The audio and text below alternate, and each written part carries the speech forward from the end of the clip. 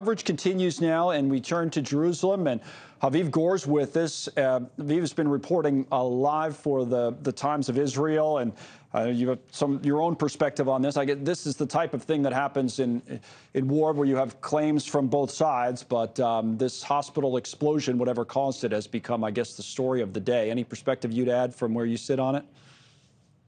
Um, yeah, actually, I, I'm not sure. I mean, I'm interested to hear what the IDF spokesperson says because um, in in Hebrew to Israelis as well as in English, uh, the IDF has not yet made a determination.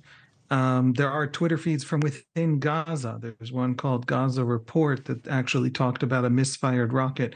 We know that some significant percentage um, not a majority, but still some significant percentage of rockets fired from the Gaza Strip land in the Gaza Strip. We also know they are launched from near these installations. That's not even an Israeli claim. That's something that's very, very well documented. So we really don't know. We know that Hamas is saying what it's saying, but of course it wasn't going to say anything else.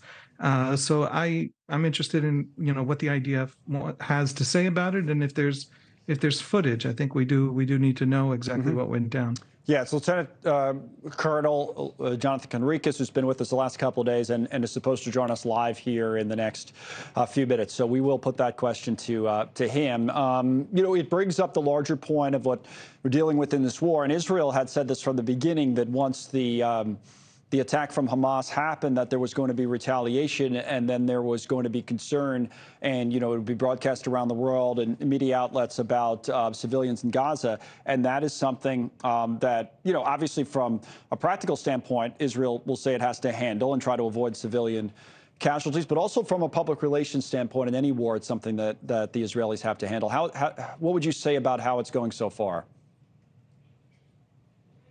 I, I, you know, there are two things to say. One is to talk about the actual way that it's being broadcast to the world, and the world is hearing it and seeing it, and what those reactions are. And we can discuss the world's reactions, what it's seeing, what it's thinking. I think it's really important to convey the extent to which the Israeli public is profoundly unified about this operation, demands this operation.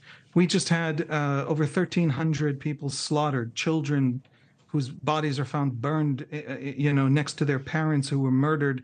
Uh, uh, a good friend of mine is in a, a, a crime scene investigator uh, who spent five days working through those bodies, hundreds of bodies, figuring out for each one how they were killed. And we have bodies, a significant number, more than half, that were tortured while they were being killed, burned and also shot and also stabbed in a single body.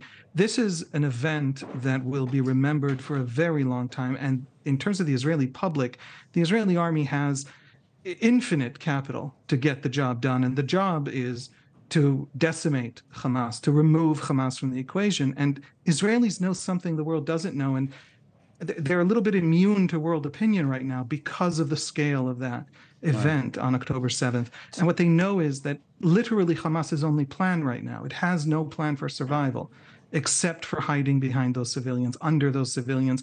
We know that Hamas has set up checkpoints to prevent civilians from moving south from what is going to be the battle zone uh, with an Israeli ground operation. Um, and so, you know, Israelis are immune both to world opinion and to I think I, I say this, you know, Gazans are suffering terribly, but this is a Hamas crime against humanity that it right. is fighting from behind the civilian population. Haviv Gur, um, senior analyst at the Times of Israel. We appreciate your perspective. And again, we'll try to, the best of our ability, get to the bottom of what is happening at that hospital. Thank you for coming on today with us. Um, we very much appreciate it. Thank you for watching. Go to newsnationnow.com to find News Nation on your television provider. And don't forget to click the red subscribe button below to get more of News Nation's fact driven, unbiased coverage.